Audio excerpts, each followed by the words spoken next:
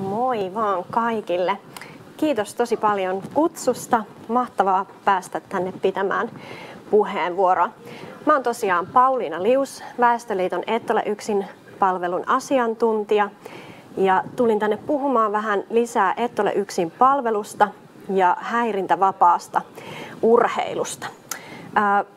Tämän koulutuksen tai puheenvuoron sisältö on, että mä esittelen hieman lisää tota Et ole yksin palvelua ja kerron siitä, että minkälaisia yhteydenottoja meille sinne tulee.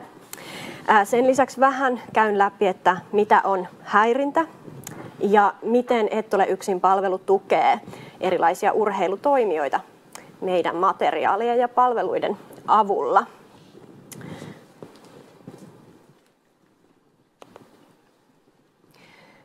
Varmaan iso osa ihmisistä, jotka sielläkin on ruudun toisella puolella, niin on joskus käynyt Et ole yksin palvelun koulutuksen. Tai jos ette vielä ole käynyt, niin mahdollisesti tuutte tulevaisuudessa vielä käymään. Mutta hiukan kerron lisää tästä meidän palvelusta, josko sieltä tulisi jotain uutta tai ainakin vahvistaisi sitä aiempaa tietoa ja osaamista. Väestöliiton Et ole yksin palvelu on tosiaan urheilun kanssa yhteistyössä rakennettu palvelu, jonka tarkoituksena on tarjota matalan kynnyksen chat ja puhelinpalvelu kaikille urheilussa epäasiallista käytöstä, häirintää, kiusaamista tai esimerkiksi väkivaltaa tai muuta, muuta käytöstä, joka ei sinne urheiluun kuulu, niin tarjota heille palvelu, minne he voi ottaa yhteyttä. Meille tosiaan yhteyttä voi ottaa kaikki erilaiset urheilutoimijat, mukaan lukien urheilijat, urheilutoimijat, valmentajat, seuratoimijat, vapaaehtoiset, ää, lajiliitot ja muut siellä urheilun parissa toimivat tahot. Hieman lisää siitä, että minkälaisia yhteydenottoja meidän palveluun tulee, niin niitä on tuohon kirjoittanut hieman ylös. Suurin osa meidän yhteydenotoista koskettaa seksuaalista häirintää ja suurin osa niistä on tämmöisiä vähän lievempiä tapauksia, mutta jokainen tapaus niistäkin kuitenkin on tärkeä ottaa tosissaan. Sen lisäksi meille tulee jonkun verran yhteydenottoja sukupuoleen perustuvasta häirinnästä, josta kerron hiukan lisää tuossa myöhemmin. Sitten meille tulee yhteydenottoja myös kiusaamiseen liittyen ja muuhun henkiseen väkivaltaan ja toisinaan myös, myös sitten vakavempiin väkivallan muotoihin liittyen. Ja sitten jonkun verran tulee myös ristiriitoja seuroissa.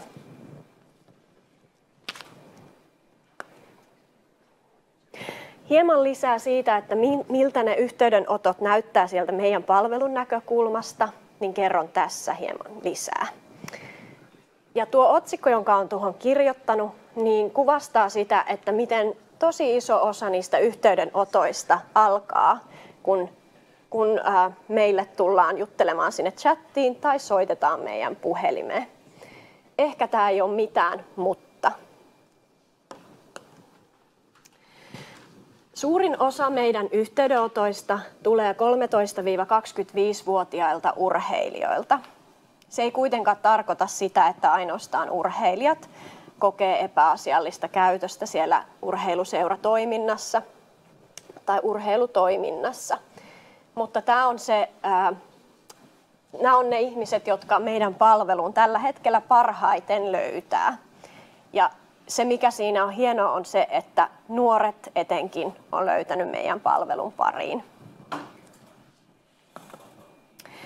Näistä yhteydenottajista niin suurin osa on naisia, mutta myös muita, sukupuoli, äh, myös muita sukupuolia siellä meidän yhteydenotoissa näkyy.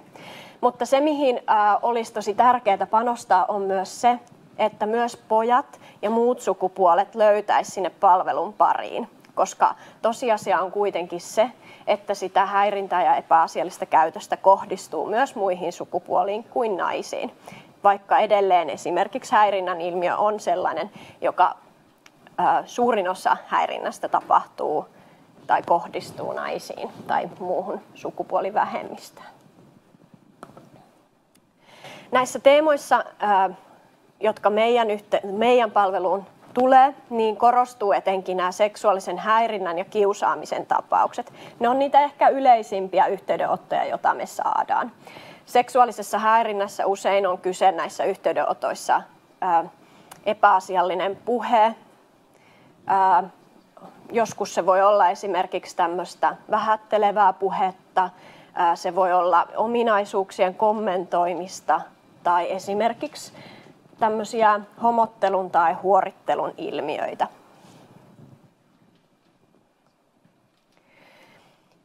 Se, mitä meidän palvelulta usein halutaan ja kaivataan, on nimenomaan sitä vahvistusta sille omalle kokemukselle. Ja sen takia tämä palvelu on tosi tärkeässä roolissa. Ihmiset tulee sinne kysymään, että se mitä he on kohdannut ja he, se mitä he on niin kokenut siellä urheilutoiminnassa, että onko se ollut epäasiallista ja onko kyseessä esimerkiksi ollut häirintä tai muu väkivallan muoto. Ja se on tosi tärkeää, että ihmiset tulee nähdyksi niiden omien kokemustensa kanssa. Ne saa siihen liittyen validaatiota ja vahvistusta. Se, mitä me mietitään paljon tuolla palvelussa ja mitä mä myös toivoisin, että te miettisitte siellä teidän urheilutoiminnassa, on se, että minkälaiset tapaukset jää vielä näkymättömiksi ja keitä esimerkiksi palvelu ei vielä tavoita. Yhden jo tuossa toinkin esiin esimerkiksi, että poikien saavuttaminen ja tavoittaminen, niin sitä pitäisi vielä vahvemmin tehdä näkyväksi siellä urheilutoiminnassa. Se, mitä me Et ole yksin palveluna tehdään ja tarjotaan, niin on tukea ja kannattelua ja ohjausta näille yhteydenottajille. Me autetaan heitä tunnistamaan se epäasiallinen käytös, kannatellaan sitä heidän tilannettaan ja autetaan heitä eteenpäin, että kenen he voi olla yhteydessä ja miten sitä asiaa voidaan lähteä ratkomaan siellä ruohonjuuritasolla. Ja siinä on kaikki urheiluseura ja ja lajiliittotoimijat ja muut tosi oleellisessa roolissa, koska se vastuu niistä jatkoselvittelyistä on niillä seuroilla, lajiliitoilla, suekilla ja poliisilla tarvittaessa. Eli me ei lähdetä sinne kentälle niitä asioita ratkomaan, mutta me tarjotaan sitä ohjausta, kannattelua ja tukea niissä yhteydenotoissa.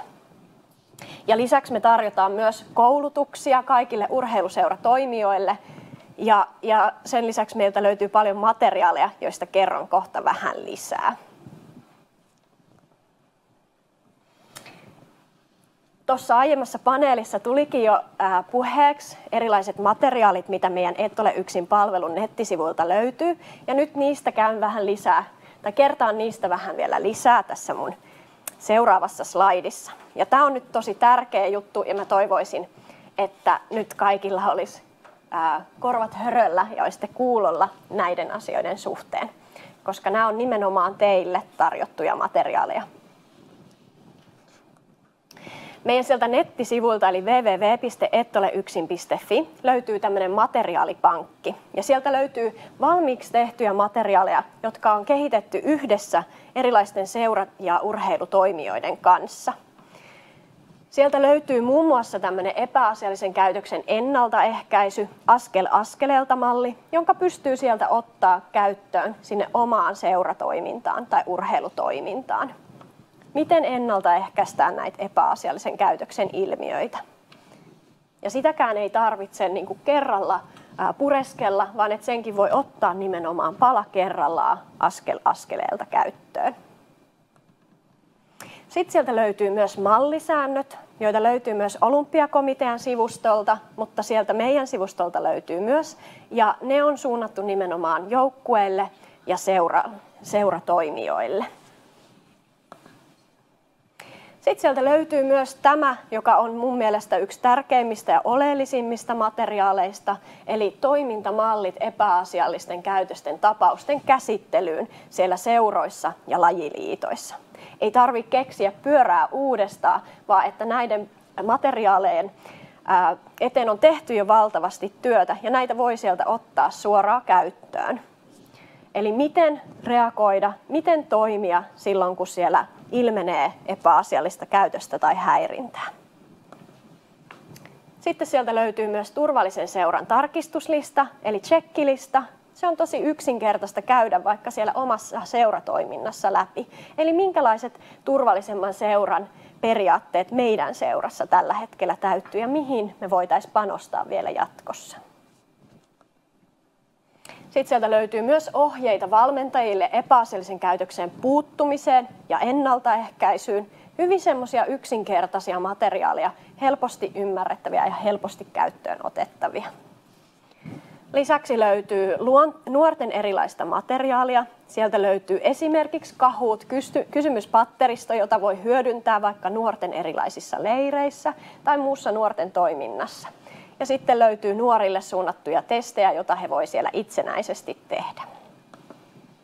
Ja sitten lisäksi löytyy myös erilaista materiaalia vanhemmille ja urheilijoiden kotiväelle. Materiaalien lisäksi meidän nettisivulta löytyy myös verkkokursseja. Tällä hetkellä sieltä löytyy yksi verkkokurssi sekä englanniksi että suomeksi, mutta tänä, tai myöhemmin tässä syksyllä vielä julkaistaan myös verkkokurssi häirinnästä nuorille urheilijoille ja urheilutoimijoille. Tämä on kurssi, jota me suositellaan lämpimästi kaikille eri urheilutoimijoille, valmentajille ja esimerkiksi lajiliittojen johdolle ja muillekin lajiliitossa toimiville henkilöille. Eli se verkkokurssi, joka sieltä löytyy sekä suomeksi ja englanniksi, niin se on laaja. Sen tekeminen kestää noin tunnin tai puolitoista. Ja siellä käsitellään muun muassa henkinen ja fyysinen väkivalta ja kiusaaminen. Siellä käsitellään seksuaalinen häirintä sekä lapsiin kohdistuvat seksuaalirikokset, lasten suojeluun ja itsemääräämisoikeuteen liittyvät teemat on myös siellä käyty läpi. Se on siis kattava kurssi ja se on ilmanen ja kaikille saavutettavissa. Niin se kannattaa sieltä ehdottomasti ottaa käyttöön sinne teidän seuratoimintaan tai muuhun urheilutoimintaan ja esimerkiksi tehdä siitä jotkut periaatteet, että keneltä te oletatte tai keneltä te odotatte, että niin kuin on se kurssi esimerkiksi tehtynä. Ja sitten tätä nuorten verkkokurssia niin kannattaa jatkossa myös suositella kaikille ää, nuorille urheilijoille ja, ja urheilutoimijoille. Siellä käsitellään se, että mitä se seksuaalinen ja sukupuolen perustuva häirintä oikeastaan on ja miten siihen voidaan puuttua ja miten se voidaan tunnistaa. Näiden materiaalien ja verkkokurssien ja sen palvelun eli chat- ja puhelinpalvelun lisäksi meiltä löytyy myös paljon erilaista viestintämateriaalia. Ja nämä löytyy sen takia, että me ollaan haluttu tehdä tämä palvelu mahdollisimman helpoksi ottaa käyttöön sinne urheiluseura- ja urheilutoimintaan. Eli meiltä löytyy sieltä nettisivuilta myös tämmöinen viestintäpankki, josta löytyy esimerkiksi näitä materiaaleja, mitkä tässä slaidilla tällä hetkellä näkyy.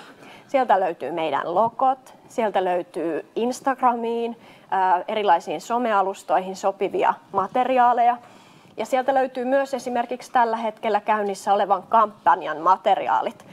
Sinun ei tarvitse olla sivusta seuraaja. Ja nyt, jollette vielä ole tarttunut tähän kampanjaan, niin suosittelen ehdottomasti, että tuutte mukaan ja lähdette postaamaan teidän omassa somessa ja omassa viestinnässä näihin kampanjaan liittyviä materiaaleja. Ja sitä kautta otatte myös kantaa siihen, että mikä se on se teidän urheilutoiminnan arvopohja ja että te myös pyritte siellä omassa toiminnassa edistämään häirinnästä ja epäasiallisesta käytöksestä vapaata urheilua. Lisäksi tänä vuonna myös tullaan tota, painattamaan noita ää, pukuhuoneen tauluja, Eli toimin näin, jos kohtaat tai havaitset häirintää ja pyritään saamaan ne kaikkiin urheilu- ja liikuntatiloihin pukukoppien seinille, jotta sitten jatkossa kaikki urheilijat, jotka siellä ää, tiloissa käy, niin saisi keinoja ja konkreettisia toimintamalleja, että miten toimia, jos he havaitsee tai kohtaa sitä häirintää tai epäasiallista käytöstä.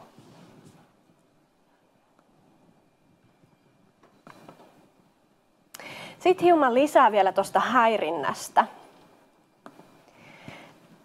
Niin kuin ehkä kaikille on jo hieman tuttua, että mitä se häirintä oikeastaan on, niin en silti koe, että se on lainkaan huono välillä vähän kerrata näitä asioita ja myös sitä kautta miettiä, että mikä se meidän kaikkien vastuu on sen ennaltaehkäisyssä.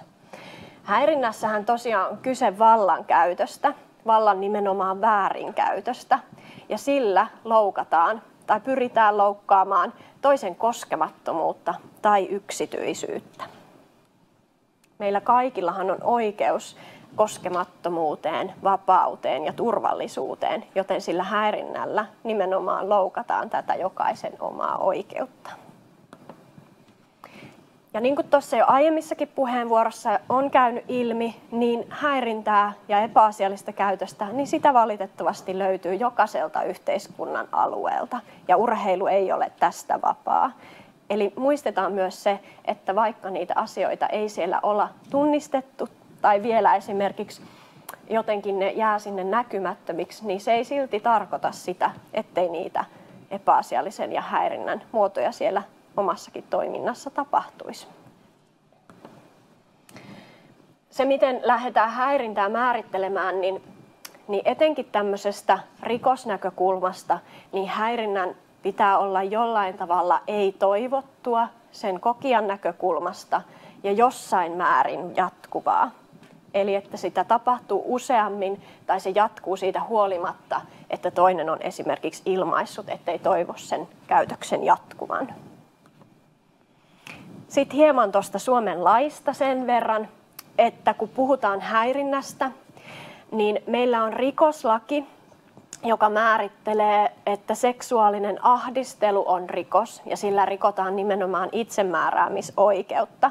Ja seksuaalinen ahdistelu on jotain, joka sisältää koskettamisen. Se ei siis sisällä ää, verbaalista eli puheen tasolla tapahtuvaa häirintää. Mutta sitten taas tasa-arvolaki velvoittaa kaikkia ää, oppilaitoksia ja, ja työpaikkoja pitämään huolta siitä, että tasa-arvoa edistetään siellä omassa toiminnassa. Ja sen lisäksi sisältää myös sen, että seksuaalinen ja sukupuoleen perustuva häirintä on myös, on myös rangaistava rikos. Joten tämä on tosi tärkeää pitää mielessä. Sen lisäksi meillä on yhdenvertaisuuslaki, joka, joka koskettaa taas erilaista loukkaavaa käyttäytymistä, joka liittyy syrjintäperusteisiin. Eli yhdenvertaisuuslaki takaa erilaisille vähemmistöön kuuluville ihmisille turvallisuutta siinä, että loukkaava käyttäytyminen heitä kohtaan rikkoo yhdenvertaisuuslakia. Sitten on tietenkin myös nämä vakavemmat ää, seksuaalirikokset, jotka on määritelty rikoslaissa ja nämä on virallisia syytteen alaisia. Ja, ja nämä vakavemmat muodot niin sisältää usein tai sisältää koskettamista ja esimerkiksi raiskauksen tai raiskauksen yrityksen. Sitten kun puhutaan häirinnästä, niin tärkeää on nimenomaan arvioida sitä, että millä tavalla se loukkaa sitä häirintää kohdannutta. Eli arvioidaan nimenomaan sen häirinnän vaikutuksia tähän häirin, tämän häirinnän kokijan näkökulmasta. Ei niinkään sitä, että onko se välttämättä ollut ää, tahallista, vaan nimenomaan, että millä tavalla se on loukannut tätä kuulijaa tai kokijaa. Ja se on tosi tärkeää meidän kaikkien muistaa.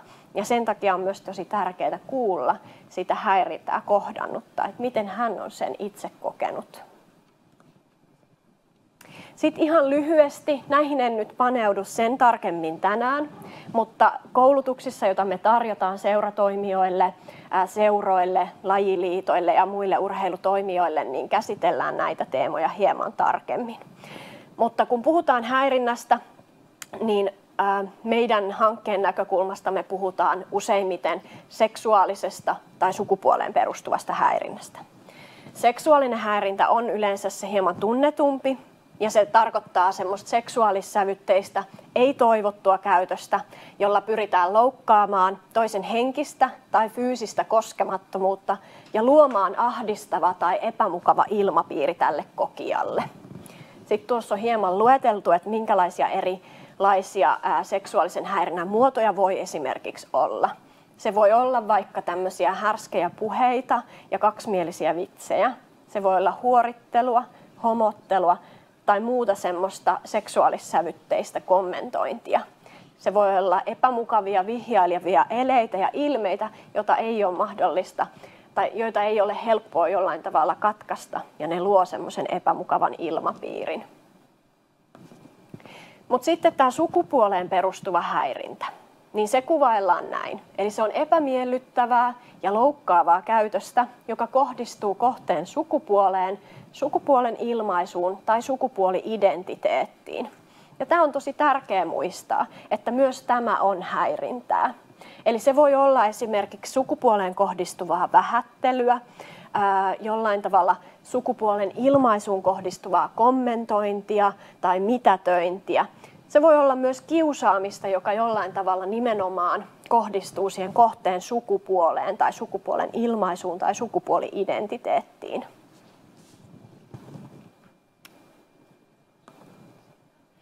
Sitten mennään vähän tarkemmin siihen, että miten Et ole yksin palvelu voi tukea erilaisia urheilutoimijoita.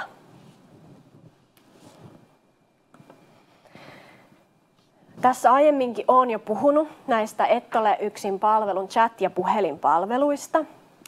Ja nämä on nyt tosi oleellisia kaikille siellä urheilussa toimiville tahoille. Eli siitä viestiminen on, ensisijaisen tärkeää, jotta joka ikinen siellä urheilussa epäasiallista käytöstä, häirintää, kiusaamista tai väkivaltaa kohdannut tai kokenut tai havainnut saisi tarvitsemaansa tukea ja apua ja kannattelua. Ja sen takia se viestintä on oleellisessa roolissa, jotta ihmiset löytää tämän palvelun pariin. Se on hyvä lisätä esimerkiksi sinne nettisivuille.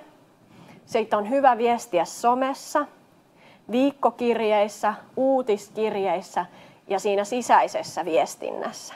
Siitä on myös tärkeää puhua ääneen esimerkiksi erilaisissa tapahtumissa ja tapaamisissa. Sen lisäksi, että me tarjotaan palveluita epäasiallista käytöstä kohdanneille, niin me tarjotaan myös konsultaatiotukea urheilutoimijoille. Eli meihin voi olla myös yhteydessä, jos on epävarma olo siitä, että miten esimerkiksi toimia erilaisten tilanteiden kanssa, tai että jos on vaikka epävarma olo siitä, että, että mitä on tapahtunut, niin että onko se häirintää, onko se väkivalta, onko kenties kyseessä jonkunnäköinen rikos, mitä, mitä pitäisi lähteä selvittelemään, tai ylipäätänsä, jos on jotain epäilyksiä tai epävarmuuksia siitä, että miten sitä häirinnän ja epäasiallisen käytöksen vastaista työtä siellä omassa toiminnassa voisi toteuttaa, niin meihin voi olla ihan matalalla kynnyksellä yhteydessä. Sen lisäksi me tarjotaan paljon erilaisia koulutuksia. Tänä vuonna koulutuksia on pidetty jo yli 20 ja ne koulutukset on pääasiallisesti häirintään ja kiusaamiseen liittyviä koulutuksia. Mutta sen lisäksi me ollaan pidetty koulutuksia esimerkiksi lajiliitoille, jossa me ollaan tuettu heitä ottamaan erilaisia toimintamalleja käyttöön siellä heidän omassa työssä. Ja sen lisäksi me ollaan pidetty lajikohtaisia koulutuksia, jossa vaikka pyritään ottamaan huomioon sen lajin omat erityispiirteet. Ja näistä asioista voi olla aina yhteydessä meihin ja sitten voidaan yhdessä katsoa, että minkälainen koulutus olisi hyvä siihen teidän tarpeeseen. Sitten on tämä materiaalipankki, mistä tuossa jo aikaisemminkin puhuin. Se on tosiaan kaikkien urheilijatoimijoiden käyttöön. Ja sieltä löytyy paljon erilaista materiaalia. Siitä kannattaa vinkata sekä vanhemmille, sitten siitä kannattaa vinkata urheilijoille, urheilutoimijoille, johdolle ja kaikille eri tasolla ja eri, eri tahoissa työskenteleville ihmisille, jotta ne saadaan mahdollisimman hyvin hyödynnettyä sieltä. Sitten nämä verkkokurssit, joista tuossa jo aikaisemminkin mainitsin, niin ne kannattaa ehdottomasti ottaa osaksi sitä teidän omaa toimintaa. Ne voidaan vaikka ottaa osaksi vaikka valmentajien perehdytystä. Osa seuroista on ottanut esimerkiksi sen tämmöiseksi edellytykseksi, että pitää käydä tämä verkkokurssi ennen kuin aloittaa sen valmennustoiminnan. Ja toisinaan myös, jos on joku tapaus ilmennyt siellä seuratoiminnassa esimerkiksi, niin voidaan vaikka edellyttää, että tämä valmentaja tai muu epäasiallista käytöstä ää, tehnyt henkilö käytän verkkokurssin. Ja tästä verkkokurssista tulee myös todistus, jonka voi sitten myöhemmin tarkistaa. Sitten tietenkin oleellisessa roolissa on myös kaikenlainen erilainen yhteistyö urheiluyhteisön eri jäsenten kanssa. Me tehdään jo paljon yhteistyötä Olympiakomitean, SUEKin ja monien lajiliittojen kanssa, mutta mielellään otetaan myös lisää erilaisia yhteistyötahoja mukaan ää, tiiviimpään yhteistyöhön. Ja siihen liittyen voi myös olla meille matalalla kynnyksellä yhteydessä. Miten sitä epäasiallisen käytöksen vastaista työtä voidaan ottaa osaksi sitä urheilutoimintaa? Niin ensisijaisen tärkeää on se, että pyritään, pyritään se epäasiallinen käytös ja häirintä ottamaan myös niin kuin puheen tasolla sinne urheiluseuran toimintaan. Rikotaan semmoista puhumattomuuden kulttuuria ja uskalletaan olla rohkeita.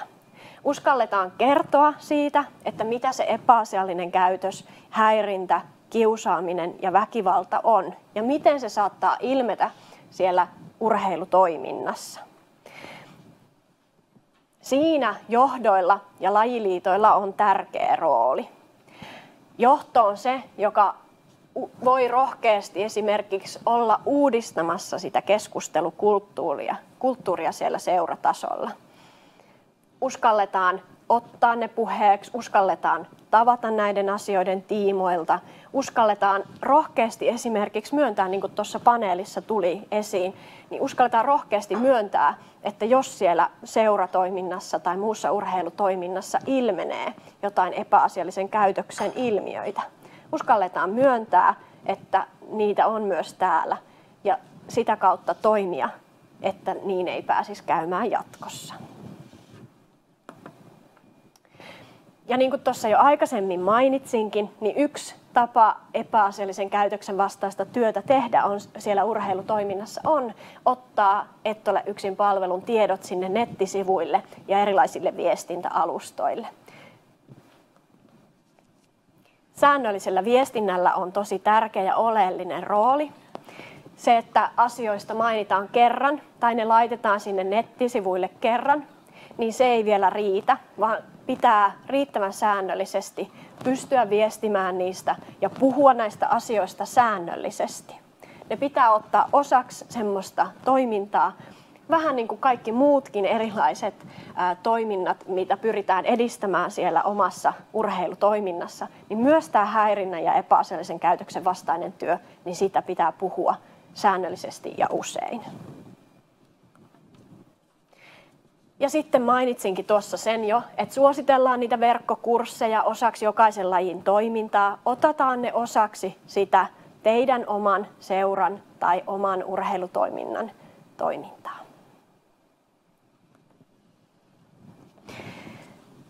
Myös säännöllisellä toiminnan arvioinnilla on tärkeä rooli.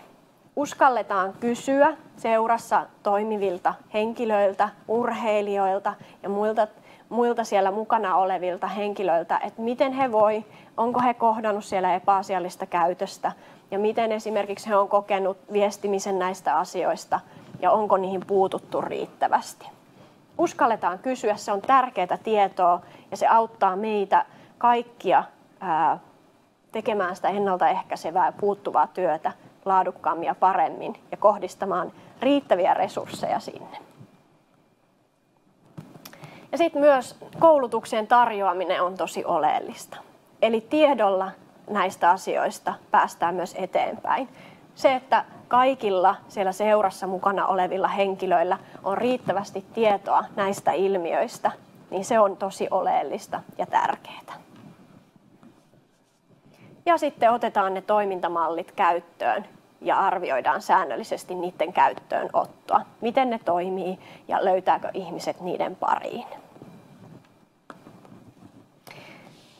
Tähän loppuun mä haluaisin vielä sanoa, että se mitä mä toivon, että te otatte tänään mukaan tästä mun puheenvuorosta on se, että te aktiivisesti otatte Et ole yksin palvelun osaksi sitä teidän urheilutoimintaa, hyödynnätte niitä materiaaleja, joita sieltä löytyy, sieltä meidän nettisivuilta, viestitte säännöllisesti, rohkeasti, olette mukana tämän ennaltaehkäisevän työn parissa ja olette meihin yhteydessä, jos jotain sellaista tarvetta ilmenee.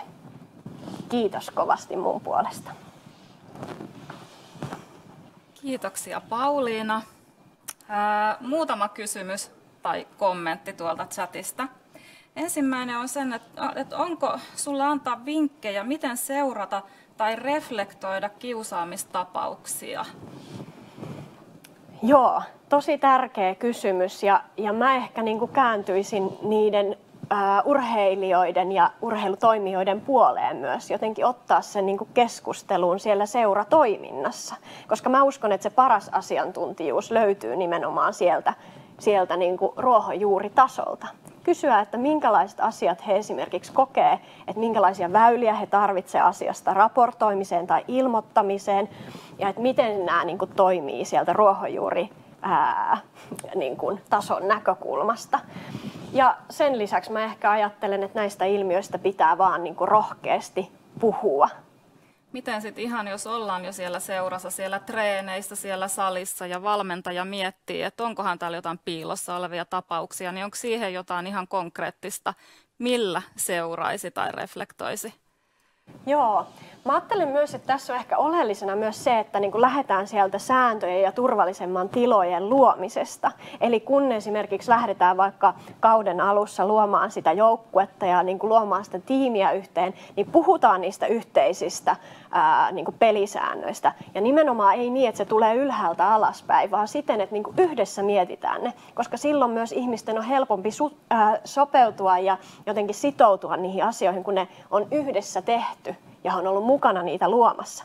Ja sitä kautta myös uskon, että ihmisten on helpompi myös kertoa, jos siellä tulee jotain asioita ilmi. Tai että, että joku, että hei, että tämä itse asiassa, että nämä on meidän säännöissä ja tämä ei nyt niin kuin ole osa sitä meidän sääntöjen mukaista toimintaa. Niin sitä kautta ehkä niin kuin voi olla myös helpompi ää, ilmoittaa niistä.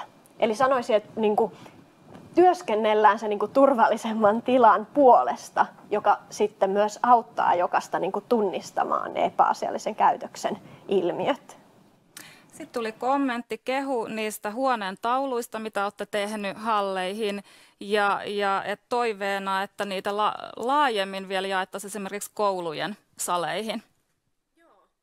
Tämä on itse asiassa, tästä on ollutkin puhetta aiemmin palavereissa ja on mietitty, että miten se saataisiin niin kuin mahdollisimman laajalle yleisölle ja nimenomaan kaikkiin niihin eri urheiluhalleihin ja eri urheilupaikkoihin, jossa urheilua tapahtuu. Ja osa urheilusta tapahtuu nimenomaan siellä koulujen halleissa ja koulutiloissa. Niin, niin otetaan tämä ehdottomasti huomioon ja niin kuin pyritään, että saataisiin ne huoneentaulut mahdollisimman laajalle yleisölle nähtäväksi. Hyvä. Kiitos oikein paljon Pauliinalle.